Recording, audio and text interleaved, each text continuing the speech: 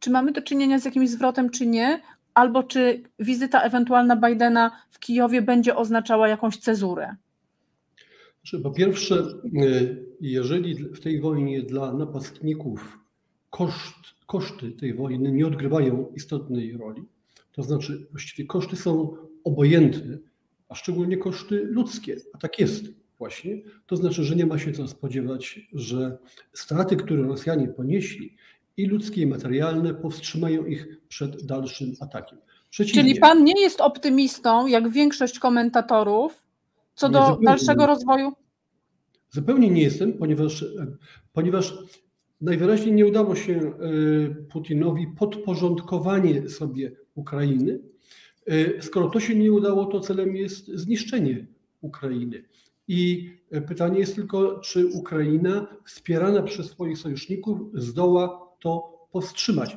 Na to pytanie odpowiedzi gotowej nie ma. Są pewne szanse, że Ukraina zdoła powstrzymać Rosjan. To zależy też w dużej mierze od tego, jak jednoznaczne będzie poparcie Zachodu.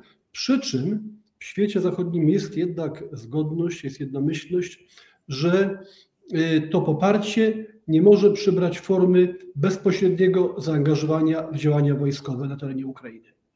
Czyli wbrew temu, co słyszymy e, w, najczęściej w oficjalnym przekazie, że Putin skupi się teraz na wschodnich rubieżach, pan ambasador mówi o tym, że celem Putina teraz właśnie jest zniszczenie Ukrainy to, to nie, zniszczenie Ukrainy to nie musi oznaczać, to nie, ja, nie, ja w ten sposób nie mówię o tym, ile terytoriów chce zagarnąć Putin.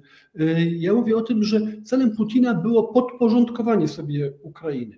Oczywiście można byłoby to osiągnąć w ciągu paru dni i ogłosić y, y, zwycięstwo triumfalnie w Moskwie. To się nie udało i dzisiaj ta wojna jest wojną wyniszczającą, prowadzoną w nadziei, że Ukraina straci zdolność do życia jako państwo. E, jaka, jak daleko się wojska rosyjskie posuną, e, ja tego nie potrafię e, przewidzieć. Tego zresztą nikt nie potrafi powiedzieć, ponieważ to zależy od tego, jak będzie przebiegała ta wojna dalej. Natomiast ja, być może celem Putina będzie pozostawienie Ukra- jest pozostawienie Ukrainy jako takiego kadłubowego państwa. Pewnie to by mu wystarczyło.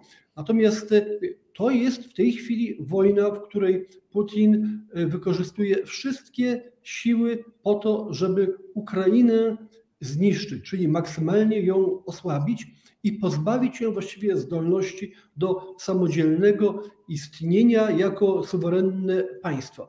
Ja nie mówię, że jemu się to uda. Nie jestem, tego, nie jestem o tym przekonany. I no właśnie. Życzę mu szczerze, żeby mu się to nie udało i uważam, że to życzenie może się spełnić.